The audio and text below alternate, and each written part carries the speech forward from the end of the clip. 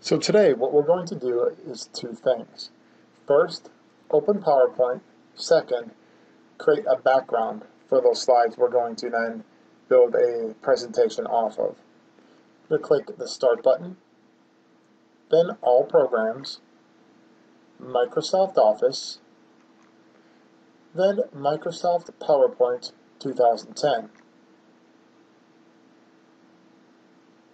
What we're going to do is create a new slide. There are two ways. One way is clicking the down arrow, and you'll see that we have all these different templates to choose from, but we want to stick with the default template today, and by simply clicking the button on the top, we will create a new slide.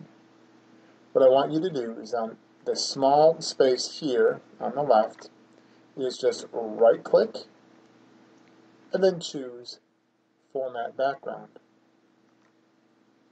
From here, we're going to choose Picture or text Texture Fill.